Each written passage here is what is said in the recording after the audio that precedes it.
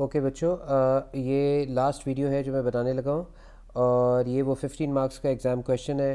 मैंने कहा मैं आपको जल्दी से इसकी स्ट्रेटजी समझा दूँ कुछ की पॉइंट समझा दूँ ताकि आप कुछ ना कुछ एग्ज़ाम के अंदर अटैम्प्ट कर सकें।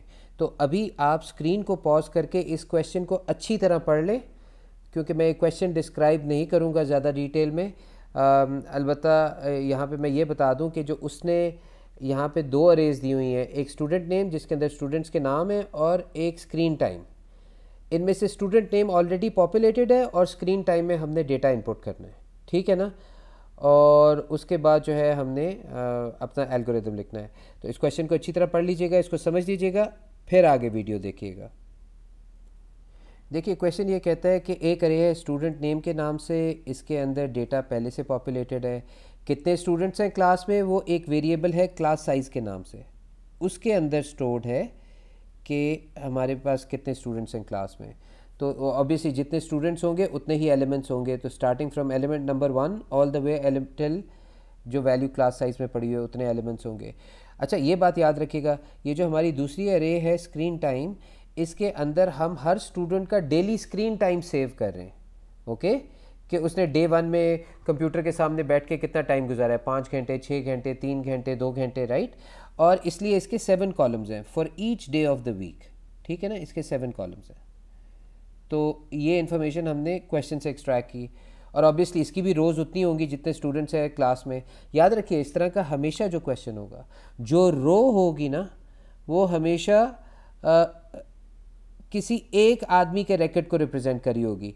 तो जो रो नंबर होगा ना let's say row number five है तो रो नंबर फाइव से इधर से स्टूडेंट का नाम पता चल जाएगा और इधर जो रो नंबर फाइव होगी, वो उसी स्टूडेंट का डेटा होगा। ये कॉरस्पॉन्डिंग होता है, हमेशा।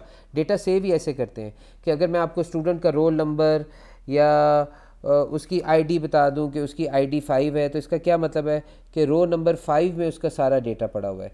चाहे ये वाली अरे हो, चाहे ये वाली अरे हो। ओके. अब क्वेश्चन हमें ये कह रहा है कि हमने स्टूडेंट्स का जो स्क्रीन टाइम है, हर दिन का यहाँ पे सेव करना है। ठीक है ना? तो इस स्टूडेंट ने पहले दिन 200 मिनट का इसका स्क्रीन टाइम था second day of the week इसका 150 मिनट स्क्रीन टाइम था। इस तरह ये सारी वैल्यूज़ हर स्टूडेंट की, हर दिन की Saturday Sunday Monday Tuesday Wednesday Thursday Friday Saturday जो भी है, हमने सारी वैल्यूज़ इधर इनपुट करनी है कि कितने कितने मिनट्स वो स्क्रीन के सामने उसने गुजारे, हर स्टूडेंट के। तो एक तो स्क्रीन टाइम को हमने पॉपुलेट करना है। अच्छा तो क्वेश्चन हमें अब ये कह रहा है कि हर स्टूडेंट का हमने उसके डेली मिनट्स जो है इनपुट करने हैं हमारी अरे स्क्रीन टाइम के अंदर। फिर हमने बताना है कि हर स्टूडेंट ने आ, कितने टोटल नंबर ऑफ़ मिनट्स जो है उसने पूरे वीक में स्क्रीन के सामने स्पेंड किए थे। मतलब उसका पूरा डेटा जो सात के सात दिनों का है टोटल मिला के कितने मिनट्स हुए थे। फिर हमने बताना है कि कितने दिन ऐसे थे इन सात दिनों में से जिनके अंदर स्टूडेंट जो है उसने 300 से ज़्यादा मिनट एक दिन स्क्रीन के सामने गुजारे थे। और उसके बाद हमने पूरी क्लास के एवरेज वीकली मिनट्स जो हैं वो आ, हमने कैलकुलेट करने हैं कि पूरी क्लास ने आ, कितने मिनट स्क्रीन टाइम के सामने गुजारे थे पूरे वीक के लिए राइट तो वीकली एवरेज हमने निकालनी है क्लास की। और उसके बाद हमने ये बताना है कि कौन सा स्टूडेंट था जिसके lowest weekly minutes of screen time था। ठीक है? और उसके बाद हमने कुछ आउटपुट्स करनी है। तो चलें, जल्दी जल्दी करते हैं। सबसे पहले हम ये देखते हैं कि हमने जो इनपुट करवानी है और एक तो हमें ये सेंस हो जानी चाहिए, हमें रो वाइज प्रोसेसिंग चाहिए, क्योंकि हमें हर स्टूडेंट का डेटा एंटर करना है, फिर हमने उसका वीकली स्क्रीन टाइम निकालना है, फिर हमने ये देखना है कि किस दिन जो था वो स्टूडेंट ने 300 से ज़्यादा मिनट गुजारे थे स्क्रीन के सामने। तो स्टूडेंट का डेटा तो रो में पड़ा है ना, इसलिए हमें रो वाइज प्रोसेसिंग करनी है। इसीलिए आप देख लें कि मैंने क्या किया, मैंने रो वाइज प्रोसेसिंग जो है वो की है। आउटर लूप मेरी रो वाली है इनर लूप मेरी कॉलम्स वाली है। अच्छा यहाँ पे मैं आपको एक कॉन्सेप्ट दे दूँ, किसी भी क्वेश्चन में।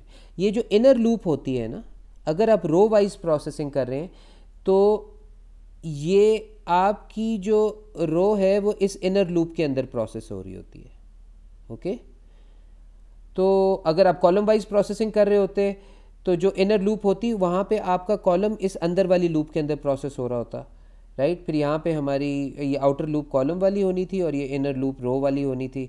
मगर जब आउटर लूप रो वाली है, इसका मतलब है ये अंदर वाली लूप हमारी जो है, ये जब चलेगी तो बेसिकली हमारी रो का डेटा प्रोसेस हो रहा होगा।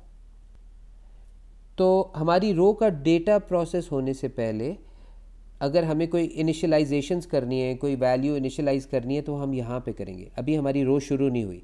अलबत्त जब ये लूप ख़त्म हो जाएगी तो हमारी रो जो है, उसकी प्रोसेसिंग कंप्लीट हो चुकी हुई है।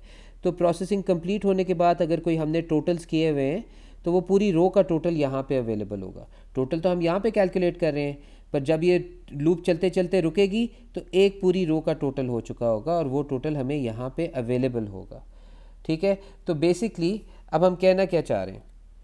कि जब ये अंदर वाली रो चलेगी तो हमने ये सॉरी ये अंदर वाली लूप चलेगी तो हमने इसमें इनपुट करवा दिया स्क्रीन टाइम ठीक है? अब देखिए, ये यहाँ पे तो एक रो प्रोसेस हो रही है ना? ये तो एक रो का डेटा है। तो यहाँ पे हमने क्या किया है? एक रो का टोटल निकाल लिया है। ठीक है? टोटल स्क्रीन टाइम ये बेसिकली हमें यहाँ पे कमेंटिंग करनी चाहिए ताकि एग्जामिनर को पता चल जाए कि ये क्या स्टोर कर रहा है। ये एक स्टूडेंट का स्क्रीन टाइम स्टोर कर रहा है। आप इसको कमेंट में इसको आपको यहाँ पे डिफाइन करना चाहिए। ठीक है ना? तो आ, ये एक स्टूडेंट का स्क्रीन टाइम होगा। जब ये रोज़ सेवन टाइम्स चल चुकी होगी तो एक रो कंप्लीट हुई होगी। यही हमने कहा है ना? तो टोटल स्क्रीन टाइम के अंदर एक स्टूडेंट का स्क्रीन टाइम जा रहा है। और अलबत्त हमने क्या किया है कि देखिए, चूँकि ये एक एक स्टूडेंट का अलहदा से स्क्रीन टाइम नोट करना है हमने, इसलिए हमने स्टूडेंट स्क्रीन टाइम रो चलने से पहले ज़ीरो सेट किया है। और जब रो कंप्लीट हो जाती है तो हमारे पास एक स्टूडेंट का एक वीक का स्क्रीन टाइम आ जाता है। और फिर हमने क्या किया? हमने यहाँ पे वो स्टूडेंट का स्क्रीन टाइम जो है, उसको आउटपुट किया है। हमने बताया है कि जो है स्टूडेंट का नाम क्या है। खैर ये मैं अभी बाद में आपको बताता हूँ। एनीवेज तो हमने ए, अगर हमने स्टूडेंट का स्क्रीन टाइम निकालना था वो हमने कैलकुलेट कर लिया। हमने क्लास का भी स्क्रीन टाइम निकालना था। अच्छा देखिए पूरी क्लास का स्क्रीन टाइम निकालना है वो तो एक ही वैल्यू होगी ना। अगर हर स्टूडेंट का स्क्रीन टाइम निकालना है तो पहले पहले स्टूडेंट का स्क्रीन टाइम निकाला फिर अगले स्टूडेंट का रो कैलकुलेट की। तो बेसिकली जब जब ये वाली रो कंप्लीट हो जाएगी, एक स्टूडेंट का स्क्रीन टाइम हो जाएगा और ये बाहर वाली लूप दोबारा चलेगी तो हम पहली रो कंप्लीट कर चुके होंगे और अब दूसरी रो पे जा रहे हैं राइट आर की वैल्यू वन की बजाय टू हो जाएगी और अब की बार जो रो प्रोसेस होगी इधर अंदर, वो रो नंबर टू होगी। तो अब की बार जो डेटा इनपुट हो रहा होगा, वो स्टूडेंट टू का हो रहा होगा और पूरी रो में होगा वन बाय वन क्योंकि ये ये सेवन टाइम्स चलेगी ना तो seven days of the week तो पूरी रो में हमें पहले ही पता है कि जो अंदर वाली रो होती है ये स्टूडेंट का डेटा जो है एक रो का डेटा जो है वो आ, क्या कहते हैं इसमें इनपुट हो रहा होता है या मैनिपुलेट हो रहा होता है राइट प्रोसेस हो रहा होता है। तो ये आउटर रो हमारी क्या करती है? ये रो नंबर चेंज करती है। पर रो का डेटा किधर प्रोसेस हो रहा होता है? ये अंदर वाली रो में। ओके जब ये जब ये आउटर रो में आर की वैल्यू टू हो जाएगी तो फिर हम रो नंबर टू का डेटा प्रोसेस कर रहे होंगे। अच्छा तब आपको सेंस तो ये समझ आ गई ना कि जो student related row related data होगा आ, वो टोटल्स आप यहाँ पे करेंगे। पर जो पूरी क्लास का टोटल करना होगा उसको आप बार बार रीसेट नहीं करेंगे। यहाँ पे देखिए ना हमने स्टूडेंट का जो टोटल हो रहा है आ, उसको हम हर बार रो चलने से पहले ज़ीरो सेट कर रहे हैं। पर जो क्लास का हमने स्क्रीन टाइम टोटल करना है वो हमने एक ही दफ़ा ज़ीरो सेट किया है और जब ये पूरी की पूरी टू डी प्रोसेस हो जाएगी तो इवेंचुअली हमारे पास वो क्लास स्क्रीन टाइम आएगा। इसको सिर्फ़ एक ही दफ़ा ज़ीरो हमने सेट किया था। तो क्लास स्क्रीन टाइम के लिए भी हमने टोटल किया है स्टूडेंट के स्क्रीन टाइम के लिए भी हमने टोटल किया है राइट right? और ये ये देखिए, यहाँ पे मैंने टोटल का लफ्ज़ नहीं यूज़ किया हुआ बट बेसिकली ये ये टोटल की ही इक्वेशन है राइट right? तो मुझे, यहाँ पे मुझे शायद लिखना चाहिए था total class screen time total class screen time right तो इस तरह का कोई नाम होना चाहिए था। एनीवेज अब हमने और क्या करना था? हमने ये देखना था कि एक स्टूडेंट जो है वो कितने दिन ऐसे गुजरे हफ़्ते में कि उसने 300 मिनट से ज़्यादा जो है स्क्रीन टाइम गुजारा है। तो हमने यहाँ पे ये इफ़ कंडीशन लगा ली। तो यहाँ पे तो एक रो प्रोसेस हो रही होती है ना।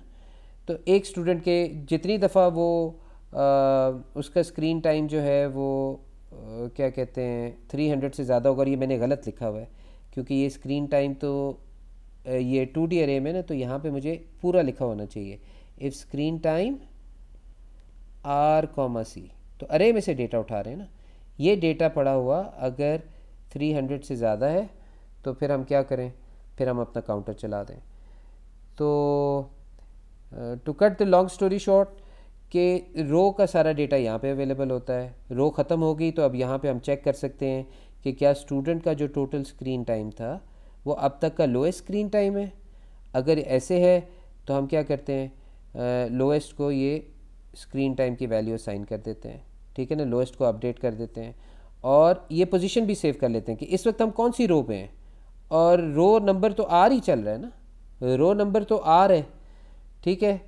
और अगर आर की वैल्यू टू है तो इस वक्त रो नंबर टू प्रोसेस हो रही है। और रो नंबर टू प्रोसेस किधर हो रही होती है? ये अंदर वाली लूप के अंदर हो रही होती है।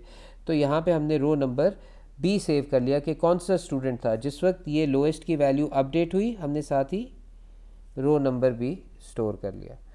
और इसके बाद जो है हमने आउटपुट कर दिया कि स्टूडेंट का नाम क्या है। ऑब्वियसली हमने आर से उठा लिया, कौन सी रो अभी करंट चल रही है, उसका screen time, total screen time के अंदर सेव हुआ हुआ है, और ये हमारे काउंटर का नाम C D, C days three hundred था। और उसने कितने दिन ऐसे गुजारे हैं जो कि तीन सौ से ज़्यादा मिनट्स उसने जिन दिनों में स्क्रीन टाइम से स्क्रीन टाइम 300 से ज़्यादा मिनट्स था, वो हमने काउंटर डेज़ 300 के अंदर स्कोर किया हुआ है। तो जब ये लूप ख़त्म हो जाएगी दोनों तो अब हमने अगर ओवरऑल कोई अरे में पड़े हुए पूरे के पूरे डेटा से रिलेटेड कुछ करना होगा तो यहाँ पे करेंगे। तो एवरेज क्लास स्क्रीन टाइम हमने निकालना था, वो कैसे निकाला? इस क्लास स्क्रीन टाइम के अंदर हमने पूरी क्लास के तमाम मिनट्स का टोटल किया हुआ है। याद है ये हमने शुरू में लूप से बाहर इसको ज़ीरो सेट किया था। अब इसको हम किससे डिवाइड कर देंगे?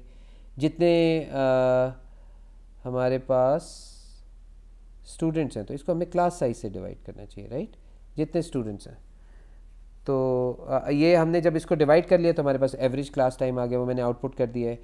और उसके बाद जो है मैंने यहाँ पे आ, उस स्टूडेंट का नाम जिसका लोएस्ट क्लास टाइम था। ये देखिए ना, ये बार बार हर रोज़ जब प्रोसेस होती है, उसके बाद हम यहाँ पे चेक करते हैं कि क्या अभी जो एक स्टूडेंट हमने प्रोसेस किया है, उसका जो स्क्रीन टाइम था वो अभी तक का लोएस्ट है कि नहीं? अगर लोएस्ट है तो फिर लोएस्ट को अपडेट कर दो और रो नंबर भी सेव कर लो ताकि हमें पता हो कौन सा स्टूडेंट है। इवेंचुअली हमने यही रो नंबर यहाँ पे इस्तेमाल किया है। जब पूरी की पूरी लूप रुक जाएगी तो हमें पता होगा कि अब जो रो नंबर है, ये लोएस्ट वाला है और इस रो नंबर को यूज़ करते हुए एज एन इंडेक्स वैल्यू हमने स्टूडेंट नेम रे से क्या किया? हमने आ, पूरा जो है उसका उसका नाम उठा लिया और आगे हमने लिख दिया कि ये वो स्टूडेंट था जिसका लोएस्ट वीकली स्क्रीन टाइम था। मे बी मैंने बहुत जल्दी एक्सप्लेन किया है बट होपफुली आपको कुछ ना कुछ रिटेंशन होगी होगी कि आपने कोड कैसे लिखना है। मैं एक दफ़ा इस कोड को जो है ना आपको जो मेरा सॉल्व कोड है वो वो आपको स्क्रीन पे शो कर दूँ। ये वो टोटल जो है आ, मेरा सोल्यूशन था और आ, क्या कहते हैं इसके अंदर आ, मैंने डेक्लेरेशंस नहीं डाली हुई बिकॉज़ स्पेस नहीं थी। डेक्लेरेशंस आप डाल सकते हैं। वैसे उसने क्वेश्चन के अंदर कहा हुआ कोई डेक्लेरेशंस डालने की ज़रूरत नहीं है। आप ये ज्यूम करें डेक्लेरेशंस पहले से हुई हुई हैं और स्टूडेंट नेम के अंदर पहले से डेटा पड़ा हुआ है और क्लास साइज़ के अंदर भी पहले से डेटा पड़ा हुआ है। अलबत्त स्क्रीन टाइम हमने इनपुट करना था।